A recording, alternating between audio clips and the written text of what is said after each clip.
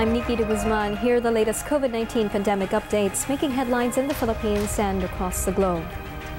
The Philippine Health Department changing its style of reporting on the COVID 19 situation in the country. Health Undersecretary Maria Rosario Vergeire says beginning next week, the department will be dropping the fresh and late categories in its daily bulletin. Vergeire also explained the country's new record high for the biggest single day increase reported on Friday was a result of change in the time of data gathering. From 5 p.m. namin dati ini-extract lahat ng data, ginawa po namin alas 12 ng tanghali. So yun pong previous day na nakakuha tayo ng 294, this was because shortened ang time to get data. So kaya kahapon po, yung ibang hindi natin nakuhang datos ay naipasok dito sa talaan natin kahapon. Kaya po talagang 1,531 ang nakuha. Pero na ho kaming ah, binuo na uh, wi- uh, bagong means of reporting uh, kung saan hindi na ho natin ipapakita ang late at fresh cases. Opo. Ang ipapakita na lang ho natin yung additional na mga kaso na pumapasok pero magpapakita ho kami ng graph kung saan yung epidemiologic graph na yon makikita po doon kung ano po yung mga pumasok talaga within the past three days na mga kaso based on onset of illness. The DOH, faced with massive backlogs in data reporting, updated its data presentation on May 30 to introduce the fresh and late categories. Since the start of the lockdown in Metro Manila, private businesses have worked together to provide food relief to poor families who continue to struggle due to the COVID 19 pandemic. Project Ugnayan has established five distribution channels, which include ABS CBN's Pantawid ng Pag-ibig program. Chief Resilience Officer of the Philippine Disaster Resilience Foundation, Bill Luz, says the initiative has helped over 2.8 million families in the most economically vulnerable sectors of society. Luz adds their first priority upon the start of the lockdown was addressing hunger, but it has now evolved to providing resources for the livelihood of those affected. But you know, moving fast forward to today, after three months, what will uh, what we need to do is provide jobs. We need to open up the economy. We need to keep people healthy, but we need to open up the economy in a way that is safe and that it can remain open uh, in a safe manner. Because unless people can get back to work, I don't think we'll be able to provide them a means of uh, putting food on the table or getting medicines and and taking care of their health. So we have to balance health and economy. Philippine transport groups slammed the alleged lack of preparation on the side of regulators as traditional jeepneys returned to roads after nearly four months of quarantine restrictions. They say some 140,000 drivers and operators were not able to ply their routes on Friday due to what they describe as confusing measures laid out by transport authorities. The groups also slammed the limited number of routes they are allowed to ply and the requirements they have to follow.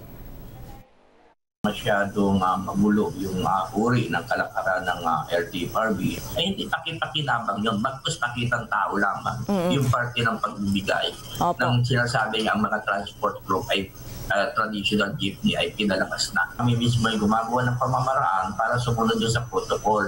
Para, pero wala naman silang alituntunin na ginagawa. Para pag lumalabas kasi ay kami pa yung may kasalanan dahil ah, kami pa yung pinagbigyan. Maging makatotohanan naman sana yung kanilang uh, paglilingkod. Yung mga tra- yung mga kailangan talaga ng mga tinatawag na mga rota, yun yung buksan nila. At ah, yun naman talaga yung pangangailangan ng ating mga pasahero. LTFRB Chairman Martin Delgra meanwhile says these protocols were imposed and studied as early as May in some regions that had eased their lockdown. Delgra adds they are just following a hierarchy of public transport, prioritizing public vehicles that could accommodate more passengers while putting in strict putting in place strict health protocols. The Philippine government is staging a massive send-off for more than 3,000 Filipinos that had been stranded in Metro Manila. Joint Task Force COVID-19 Shield Commander Police Lieutenant General Guillermo Eleazar says the locally stranded individuals had gathered at Mani- Manila City's Quirino Grandstand since last night ahead of their trips back to their home provinces this weekend.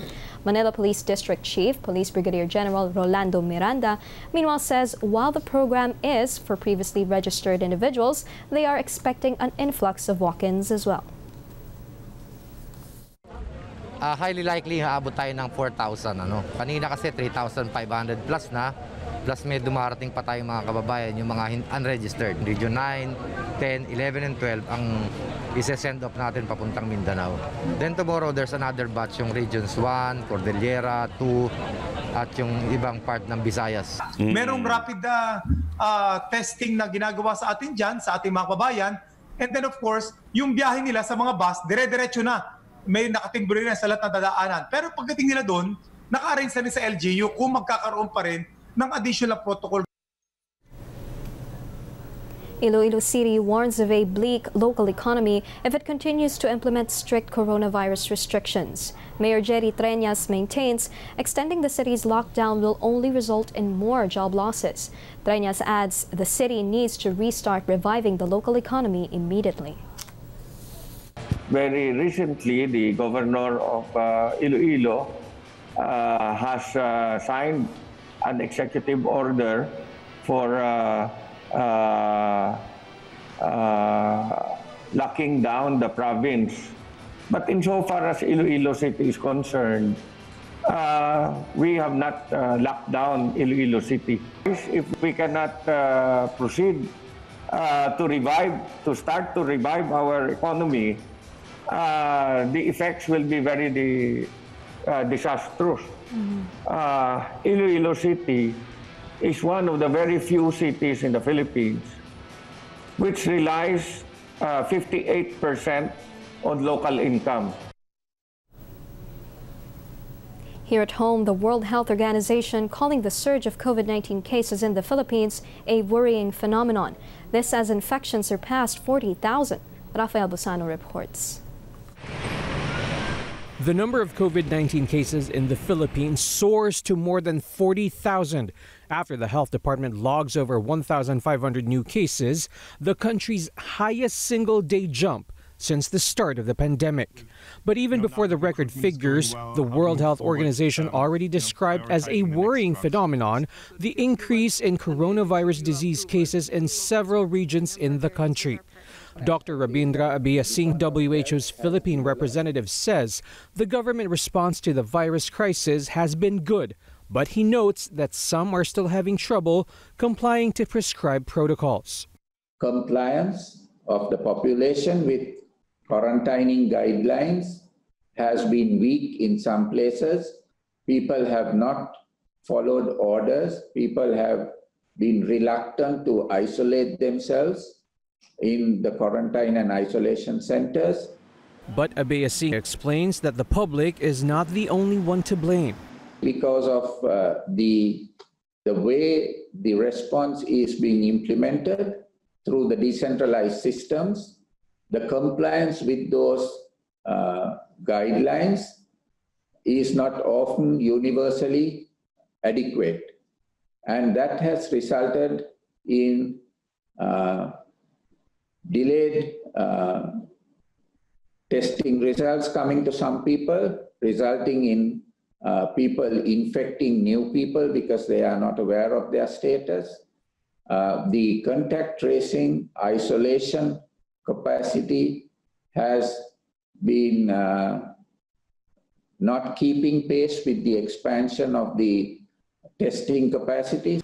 The health department earlier said that these observations are valid, which is why local governments are reminded to keep a close eye on those who tested positive in their communities. kailangan siguraduhin ng LGU na babantayan ng barangay health emergency response teams natin at imo-monitor itong mga kababayan na nagka-quarantine sa loob ng bahay. Former Social Welfare Secretary Judy Tagiwalo filed a petition for mandamus at Supreme Court on Friday seeking to compel the government to conduct free mass testing as the fight against SARS-CoV-2 rages on. The petition cites that without mass testing, the public faces a never ending quarantine and may allow the virus to claim the lives of more Filipinos. With calls for testing to be ramped up in the country, the interagency task force says government will further increase the scope of those covered by the targeted testing. The inclusion of other sectors was approved by the IATF in coordination with DOH and PhilHealth. Government has earlier said that it targets to run up to 1 million COVID tests by July. Rafael Bosano, ABS-CBN News.